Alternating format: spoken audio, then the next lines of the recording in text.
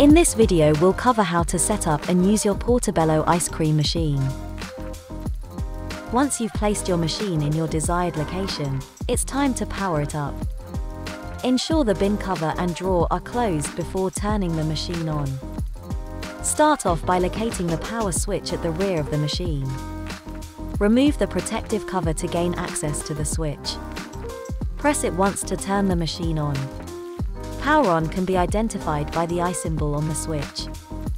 Allow the machine to start up. Calibration may take up to 2 minutes during the first startup. Once the machine is operational, the light around the button will turn from blue to white. You're now ready to create your first ice cream. With the Portobello, you can serve a range of delicious Italian gelato, vegan sorbet, and natural frozen yogurt, all at the push of a button. Our creamy Italian gelatos come in three flavors chocolate, salted caramel, and vanilla. Our fruity vegan friendly sorbet come in two flavors mango and strawberry. And finally, our original recipe natural frozen yogurt. Each pod is a perfectly sized 160 milliliter portion, with a lid on the top and a seal sticker on the bottom. The seal sticker should be removed before the product is dispensed. The top lid should never be removed, doing so will damage the Portobello machine. Once your Portobello is switched on and operational, you can begin to make an ice cream. First off, pick a pod from the freezer. Remove the sticker at the base of the pod. Remember, never remove the lid from the top of the pod. Pull the handle towards you to open the drawer. Make sure it is fully extended. Place the pod inside. Be sure to check that the pod sits correctly inside the drawer. Push the handle to close. The ring light will illuminate green, indicating that there is a pod inside the machine and it is ready to dispense. Place a cup into the cup holder. The sensors above the dispense area will automatically recognize the cup. The product will not be dispensed without a cup in place. Gently press the button to start the process. The ring light will illuminate with rainbow colors, indicating that a dispense is in progress. A dispense should take around 10 seconds. Remove the cup from the holder and serve. Once the product is dispensed, allow the machine 10 seconds to reset. Once calibration is complete, open and close the drawer to recycle the pod, or place another pod in for the next dispense. Be sure to extend the drawer fully to recycle correctly.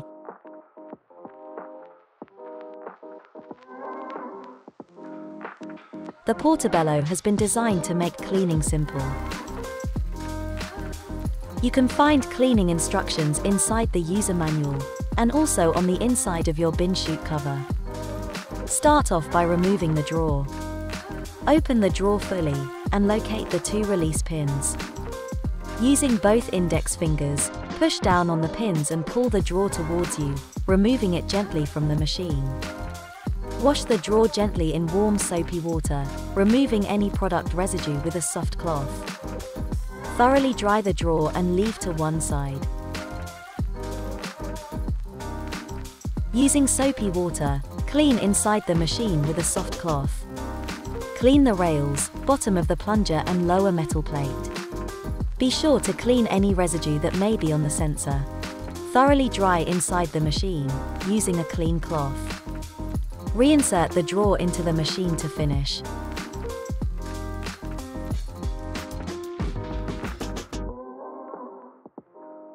Remove the upper drip tray and cup holder, and place to one side. Remove the lower drip tray by applying gentle pressure from the rear and pulling towards you. Using warm soapy water, wipe around the dispense area using a soft cloth. Wash the cup holder, upper drip tray, and lower drip tray, ensuring all product residue has been removed. Thoroughly dry the parts using a clean cloth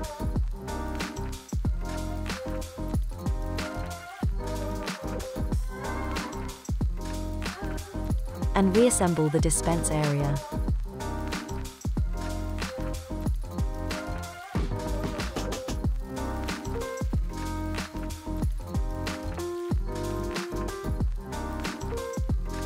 The Portobello bin chute tube can hold 12 pods before it requires emptying. Once the bin is full, the ring light around the button will illuminate orange, and the OLED will display a bin full message. Remove the bin cover by pulling the handle on the rear, and gently pulling up to slide it out. Slightly open the front drawer, this will allow easier access to the bin chute tube. Remove the bin chute tube from the machine and empty the used pods into a bin. The pods are 100% recyclable and can be recycled locally. Unscrew the bin chute tube end cap.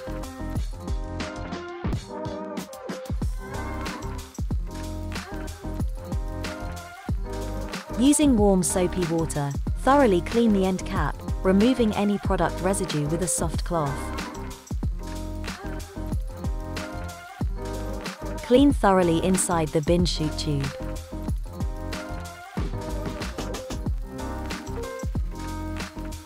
Rinse off and dry the parts using a clean cloth. Reassemble by placing the bin chute tube into the machine, ensuring it is seated correctly. Close the drawer and slide the bin cover back into position until it clicks into place. Be sure to align both corners of the bin chute cover, as this will make it easier to slide on. Keep your Portobello sparkling like new, with a quick daily wipe down. Using soapy water and a soft cloth, gently wipe the dome and all exterior parts. Avoid using any abrasive materials, as these will damage the surface of the machine. Thoroughly dry using a clean cloth. Gently polish the chrome finishes, front panel, and button parts. Avoid using harsh chemicals on the chrome finish and the Portobello exterior. Remember, a simple 5-minute daily clean can keep your Portobello functioning correctly and looking great. Every Portobello comes complete with a branded freezer, specially designed to ensure the product is kept at the perfect serving temperature of minus 14 degrees. The freezer is factory set to the correct temperature. In the unlikely case the temperature rises or falls from minus 14 degrees, please contact our customer service team. It is perfectly normal for the freezer to drop in temperature after the door is opened, during restocking, or when multiple servings are being completed. If the freezer temperature does not return to minus 14 degrees within one hour of being plugged in, please contact our customer service team. Pods are delivered in cases of 18 units. These boxes are roughly the size of a shoebox, and therefore take up minimal space in your frozen storage area. We recommend stocking your freezer with one case of each flavor, that's 6 cases of product, and 108 pods in total. The maximum capacity of the freezer is 7 cases of product, which is 126 pods. Do not overload the freezer as this will restrict airflow inside the unit and may compromise the product. The maximum fill line is visible at the top of the freezer. If you choose to relocate your equipment after installation, please take extra care when moving the freezer. When moving, please don't push or grab the door, top panel, or rear panel, as this will cause damage to the freezer. Our freezer is fitted with rollers instead of legs on the rear of the unit, this allows it to be moved easily. To move the freezer, gently lift the unit from the front to tilt it onto the rear wheels. Slowly push the unit into your desired position. When relocating your freezer, be sure to allow a minimum of 5 centimeters around all sides to provide adequate air circulation. Keep your freezer door closed when not serving. And avoid placing the freezer in direct sunlight as this could result in the temperature rising. When loading stock into your freezer, store your pods with the sticker facing down. To maximize space and efficiency, we recommend loading the freezer according to our suggested layout. You can store additional pod stock in your backup freezer at minus 18 degrees or below. When you need them, simply transfer to our branded freezer 6 hours before serving. If possible, restock your freezer in the evening, ready for the next day. Avoid dispensing a pod which has not yet risen to the correct temperature of minus 14 degrees. The machine will not dispense and will display a red warning or show a too cold message. To check the freezer temperature, press and hold the P button until the yellow lock symbol disappears. The lock symbol indicates the freezer display is locked. Once this is off, you are free to adjust the freezer systems. Press the P button once to access the temperature menu. You will now see the current temperature setting. In this case we can see the freezer is correctly set at minus 14 degrees. After 2 minutes of inactivity the freezer panel will automatically lock. An OP error will show on the display if the door has been left open, or if not sealed correctly.